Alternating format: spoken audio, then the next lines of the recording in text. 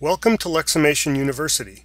My name is Scott Prentice, and today I'm going to walk you through the complete process of installing DITA-FMX on FrameMaker 8.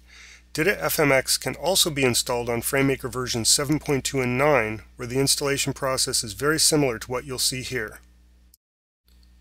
This demo is presented on Windows XP. If you're installing on Vista or Windows 7, please refer to the documentation for additional information. The installer is provided in a zip archive and can be downloaded from leximation.com.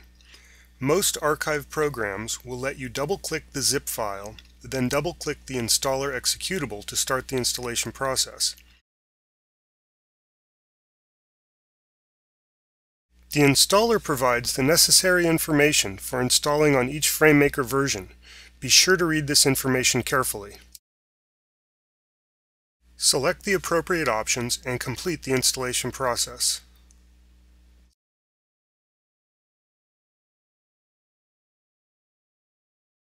At the end of the installation, you can view the online help. This documentation is also available from the Leximation website. After the initial installation is complete, open Windows Explorer and go to the main FrameMaker installation folder you'll see the new DITA-FMX folder which contains all of the support files. Go back to the main FrameMaker folder and locate the maker.ini file. Open this file in Notepad and locate the API Clients section.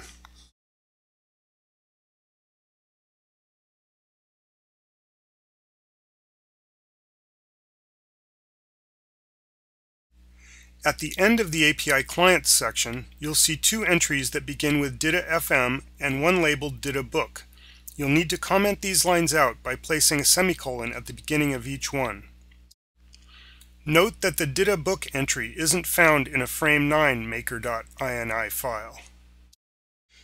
You should also see two DITA-FMX entries, which were added by the installer.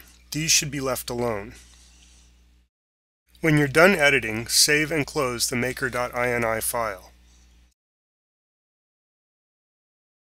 Now go back to the DITA-FMX folder and copy the DITA-FMX 1.1 apps zip file into the structure slash XML folder.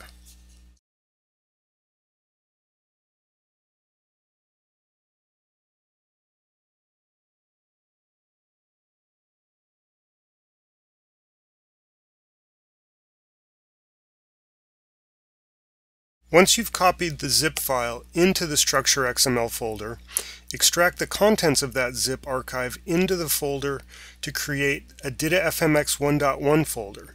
This contains the three default structure applications, book, map, and topic. Now launch FrameMaker so you can install the three structure applications. When FrameMaker starts, you should see the new DITA-FMX menu. If you're not seeing it, check the Preferences dialog to make sure that you've got the Structured Interface enabled. To install the structure applications, select Edit Application Definitions on the Structure Tools menu to open the Application Definitions file. Open the Structure View window and place your insertion point after the version element, then choose File, Import File, and locate the DITA-FMX book application folder then select the struct.apps stub file.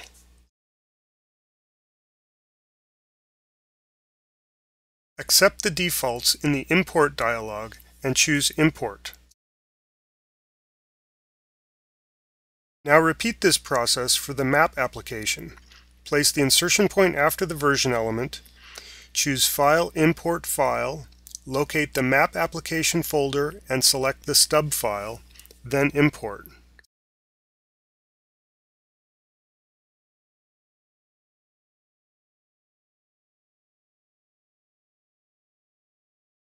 And once more for the topic application.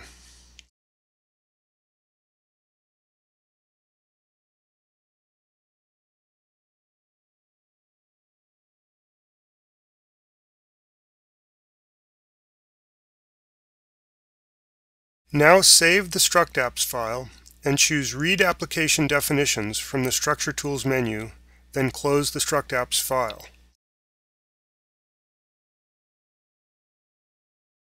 To enable DITA-FMX, you need to enter an authorization code. For the 30-day trial, just choose the Try Now item from the DITA-FMX menu.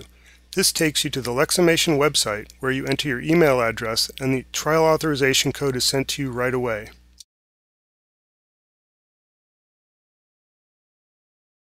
Copy the auth code from the email and paste it into the DITA-FMX tool authorization dialog.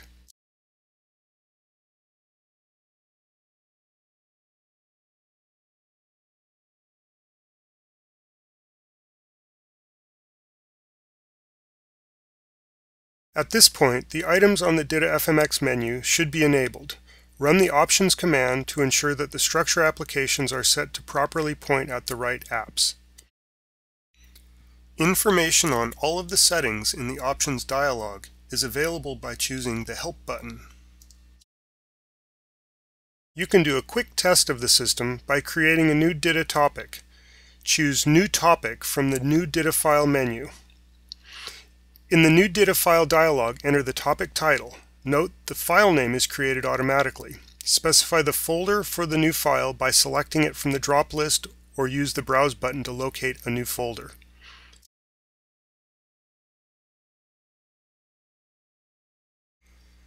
The new topic is created and opened with the proper title.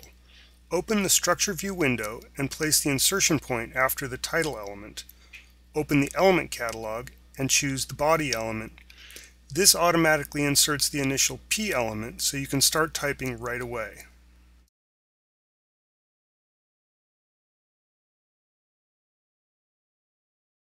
This completes the installation of DITA FMX.